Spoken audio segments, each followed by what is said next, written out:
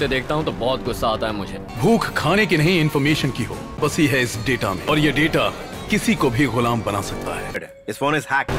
नमस्ते दोस्तों स्वागत है हमारे YouTube चैनल सुपर साउथ में। आज के वीडियो बहुत ज़्यादा इंटरेस्टिंग होने वाली है क्योंकि आज मैं इस वीडियो में बात करने वाली हूँ साउथ की टॉप फाइव बेहतरीन फ़िल्मों के बारे में जिनमें हमें murder mystery action crime suspense comedy thriller सब कुछ देखने को मिलेगा। इनमें से कुछ फ़िल्में हैं जो हाल ही में रिलीज़ हुई है और कुछ फ़िल्में हैं जो यूट्यूब पर अवेलेबल नहीं है। और वो कहाँ देख सकते हो उसकी लिंक डिस्क्रिप्शन बॉक्स में प्रोवाइड कर दूँगी। ये सारे फ़िल्में एक से बढ़कर एक है, जिनकी कहानियाँ काफ़ी थ्रिलिंग अमेजिंग और आपको फ़िल्में पूरी तरह से एंगेज करके रखती है। और ये पाँचों फ़िल्में एक मस्त वॉच है तो अंत तक हमारे साथ वीडियो में बिना स्किप करके बने रहे, ताकि आपसे एक भी मूवी मिस ना हो। तो ये वीडियो अच्छी लगी प्लीज़ वीडियो को लाइक करें, और अगर अभी तक आपने हमारे चैनल को सब्सक्राइब नहीं किया है तो प्लीज़ सब्सक्राइब करें।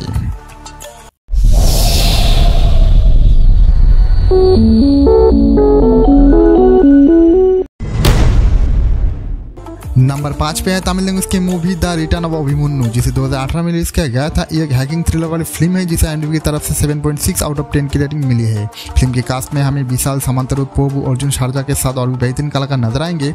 बात करें फ़िल्म की स्टोरी लाइन की, कहानी एक आर्मी वाला के आसपास घूमती है, जो अपनी बहन के शादी के लिए कुछ जाली कागजात उपयोग करके बैंक से पैसा उधर लेता है। लेकिन कहानी में ट्विस्ट तब आता है, जब अचानक से उनके बैंक अकाउंट से पैसा गायब हो जाती है। तो उसी दौरान उनको पता चलता है एक हैकर के बारे में तो आखिर कौन है वो हैकर क्या आर्मी वाला उस हैकर को पकड़ पाएगा या नहीं? जानने के लिए आपको पूरी फ़िल्म देखनी होगी। और अगर आपने अभी तक इस फ़िल्म को नहीं देखी हो तो प्लीज़ देख लीजिए। लिंक आपको डिस्क्रिप्शन बॉक्स में मिल जाएगी।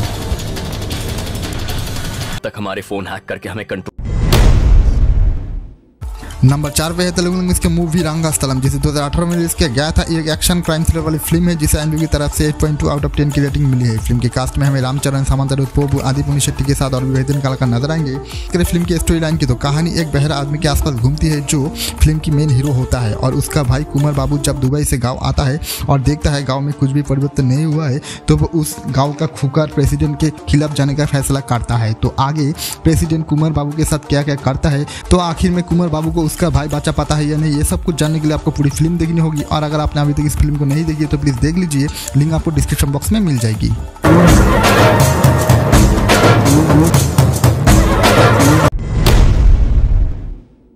नंबर तीन पे है मलयालम लैंग्वेज की मूवी धूमम, जिसे हाल ही में रिलीज़ किया गया था। ये एक मिस्ट्री सस्पेंस वाली फ़िल्म है, जिसे एनयू की तरफ़ से 5.7 आउट ऑफ़ 10 की रेटिंग मिली है। फ़िल्म के कास्ट में हमें फात फासिल अपर्णा के साथ और बेहतरीन कलाकार नज़र आएँगी। बात करें फ़िल्म की स्टोरी लाइन की तो कहानी अविनाश नाम का एक आदमी के आसपास घूमती है, जिसकी शादी दिया नाम का एक लड़की से होती है। अविनाश एक सीक्रेट कंपनी में अपनी हाई प्रोफ़ाइल जब छोड़ने के फैसला करती है, पर दिया और अविनाश दोनों को एक बहुत बड़ी मुसीबत में फंस जाते हैं, जहाँ उनकी जानों का खतरा होता है, और अपनी जान बचाने के लिए सिर्फ़ चौबीस घंटे होते हैं तो आखिर कहानी में आगे क्या क्या होती है जानने के लिए आपको पूरी फ़िल्म देखनी होगी। और अगर आपने अभी तक इस फ़िल्म को नहीं देखी तो प्लीज़ देख लीजिए। लिंक आपको डिस्क्रिप्शन बॉक्स में मिल जाएगी।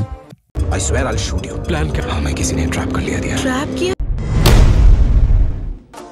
नंबर दो पे है तमिल लैंग्वेज की मूवी थाम्बी जिसे 2019 में रिलीज़ किया गया था। ये एक थ्रिलर एक्शन वाली फ़िल्म है, जिसे एनडू की तरफ़ से 6.8 आउट ऑफ़ 10 की रेटिंग मिली है। फ़िल्म के कास्ट में हमें कार्तिक ज्योतिका के साथ और बेहतरीन कलाकार नज़र आएँगे। बात करें फ़िल्म की स्टोरी लाइन की तो कहानी में एक लड़की अपने भाई विकी को 15 साल के बाद घर लौटने पर शिकार करने पर मना कर देती है और जल्दी उसे पता चलती है कि सब कुछ वैसा नहीं है जैसा उसे लगता है। और फिर उसे एक साजिश का पता चलती है तो आखिर क्या है वो साजिश? जानने के लिए आपको पूरी फ़िल्म देखनी होगी।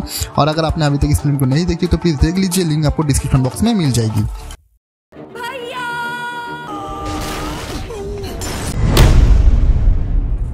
नंबर एक पे है तेलुगु लैंग्वेज की मूवी दशहरा, जिसे 2023 में रिलीज़ किया गया था। एक एक्शन थ्रिल वाली फ़िल्म है, जिसे एंड्रू की तरफ़ से 6.7 आउट ऑफ़ 10 की रेटिंग मिली है। फ़िल्म के कास्ट में हमें नेचुरल स्टार नानी कीर्ति सुरेश के साथ और भी बेहतरीन कलाकार नज़र आएँगे। बात करें फ़िल्म की स्टोरी लाइन की तो कहानी है धरनी सूर्या और वैनेला तीन दोस्तों के आसपास घूमती है। धरनी के लिए सूर्या की दोस्ती सबसे बढ़कर है, जिसके लिए वो अपने प्यार को भी छोड़ सकता है। तो गाँव में राजनीति के कारण इन दोनों दोस्तों पर हमला होता है तो सूर्या और धरनी ऐसे में क्या करती है, ये सब कुछ जानने के लिए आपको पूरी फ़िल्म देखनी होगी। होगी और अगर आपने अभी तक इस फ़िल्म को नहीं देखी तो प्लीज़ देख लीजिए। लिंक आपको डिस्क्रिप्शन बॉक्स में मिल जाएगी। तो ये थी आज की टॉप फाइव फ़िल्में अगर आपको ये वीडियो अच्छी लगी तो प्लीज़ हमारे वीडियो को लाइक करें और ऐसी लेटेस्ट और बेहतरीन मूवी के बारे में जानने के लिए हमारे यूट्यूब चैनल सुपर साउथ को ज़रूर सब्सक्राइब करें।